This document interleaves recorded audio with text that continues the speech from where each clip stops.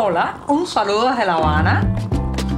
Les habla Joanny Sánchez, cubana, periodista, ciudadana, y les traigo este cafecito informativo recién colado y sin azúcar para despertar.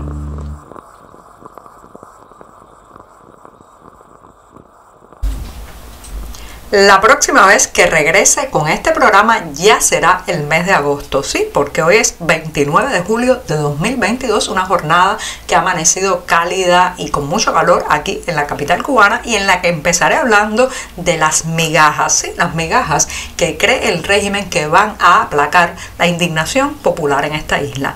Eh, pero antes de decirles los titulares, voy a pasar a servirme este cafecito ya escucharon, se estaba colando al inicio del programa y les comento que en un primer momento los cubanos podrán importar hasta 5 celulares tres ordenadores y dos motorinas. Esas son las pequeñas flexibilizaciones con las que cree el régimen cubano que va a bajar el tono de la molestia popular.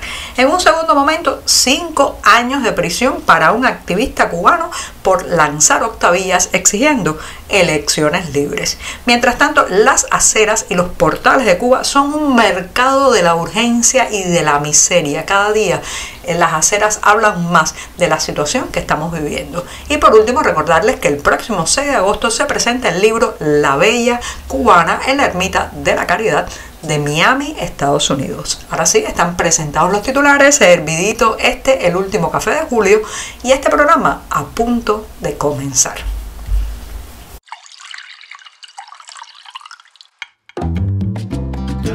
Si eres de los que te gusta estar bien informado, síguenos en 14ymedio.com. También estamos en Facebook, Twitter, Instagram y en tu WhatsApp con este cafecito informativo.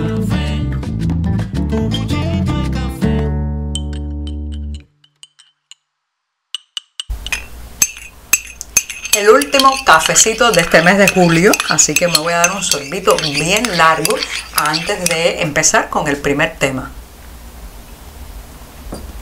Después de este sorbito les comento que eh, mientras tanto esperan una apertura económica real en la isla, mientras la gente reclama y pide y exige que se cambie el modelo económico imperante que ha sido un fracaso, ha condenado a la miseria a millones y millones de cubanos, además de que el centralismo, los excesos de controles verticales simplemente han asfixiado a la economía cubana a un punto que eh, necesitaría verdadera apertura, una sacudida para poder salir de este atolladero. Bueno, mientras todos estamos diciendo que necesitamos un cambio profundo y real, ¿qué se le ocurre proponer al régimen? Bueno, flexibilizar la importación personal, ojo, que no la importación comercial, esa sigue siendo un monopolio del Estado cubano, eh, flexibilizar la importación personal, lo que podrán traer los viajeros. Y este jueves se ha publicado en la Gaceta Oficial de la República las nuevas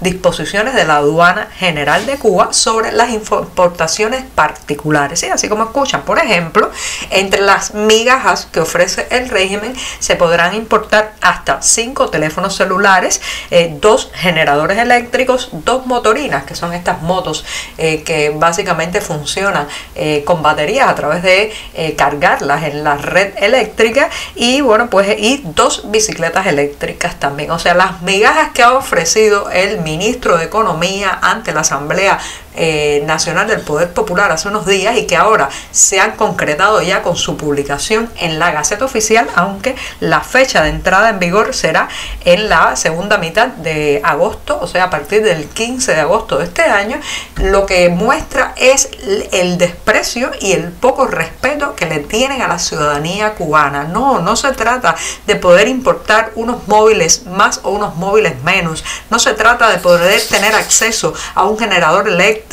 o traer otro nuevo en la maleta. Señoras y señores, estamos hablando de cambios más profundos, eh, más, eh, digamos, transversales que toquen todas las esferas de la vida. Como siempre, intentan bajarle la presión a la válvula social, no haciendo esas transformaciones tan exigidas y tan demandadas y que tenga un verdadero calado que logre impactar positivamente en la vida de la gente, sino simplemente abriendo unas pequeñas válvulas, las mínimas, las que menos poder les cueste al régimen cubano. Ahora se creen que porque vamos a traer más teléfonos celulares nos vamos a callar, que no va a haber manifestaciones ni protestas porque la gente podrá eh, pues simplemente apalancarse con un generador eléctrico propio cuando se vaya la electricidad en su barrio y en su zona. Cuando llegue el apagón podrá refugiarse en el generador eléctrico que trajo en un viaje. Piensan que con eso van a adormecer y tranquilizar la indignación popular creciente que hay en este país. La verdad es que no creo que esto vaya a funcionar porque, reitero, el sistema en su centralismo, en su control, en su absurdo a la hora de gestionar los recursos del país, sigue prácticamente intacto. Esto solamente son intentos de aplacar momentáneamente el malestar social, pero que a la larga ni van a mejorar la economía, ni van a hacer reflotar el emprendimiento y ni siquiera van a hacer que aquellos que están armando sus maletas para alargarse de la isla, cambien de idea. Estamos contigo de lunes a viernes a media mañana cuando el café se disfruta mejor. Comparte conmigo, con tus amigos e infórmate con este cafecito informativo. El activista y reportero Lázaro Yuri Valle Roca ha sido condenado, señoras y señores, a cinco años de prisión por el presunto delito de propaganda enemiga.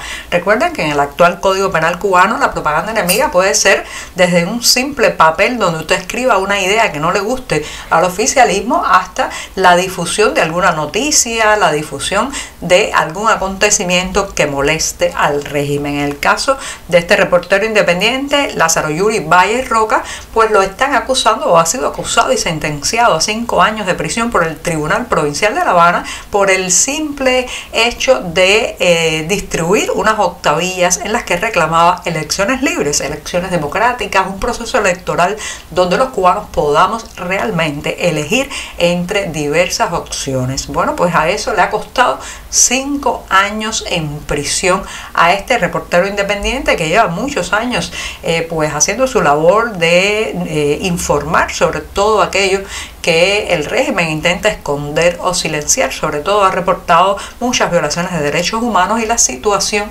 que viven las familias más vulnerables en la isla. Así que cinco años de prisión simplemente por distribuir un papel o varios papeles donde exigía lo que todos queremos en este país, elecciones libres, democráticas y que allanen el camino a un futuro libre en Cuba. En las últimas décadas se ha ido extendiendo un fenómeno en Cuba que es vivir de la puerta hacia afuera. Sí, así como escuchan, el hacinamiento que lamentablemente experimentan muchas familias dentro de su hogar, las condiciones, las malas condiciones de la infraestructura de sus casas y también, bueno, el calor muchas veces en los meses de verano obliga a la gente a sacar una silla, a sentarse eh, y eh, colocarse en la acera, ese lugar por donde transitan los peatones, pero que en Cuba se ha en una prolongación de la propia casa. No solamente de la casa, señoras y señores, también se ha convertido en una zona comercial, del comercio de la miseria, del comercio de la urgencia. Los portales y las aceras de La Habana cada vez, cada vez muestran más a estas personas que tienen poco o nada, que intentan vender algunos productos, muchos de ellos recuperados de la basura o ya de uso para ganarse algunos pesos cubanos con los que comprar alimentos. Así que las aceras también están mostrando la crisis que recorre a toda la sociedad cubana actual. Y pongo punto final a este, el último programa de la semana y también del mes de julio, recomendándoles la presentación de un libro el sábado 6 de agosto a las 10 de la mañana en la Ermita de la Caridad en Miami, Estados Unidos. Se trata del volumen La Bella Cubana que muestra los rostros de mujeres en la Cuba del siglo XIX. Así que reitero, La Bella Cubana el 6 de agosto a las 10 de la mañana en la Ermita de la Caridad. Y con esto me despido hasta el próximo lunes. Muchas gracias. Por hoy es todo. Te espero el lunes a la misma hora. Síguenos en 14medio.com. También estamos en Facebook, Twitter, Instagram y en tu WhatsApp. No olvides, claro está, compartir nuestro cafecito informativo con tus amigos. Muchas gracias.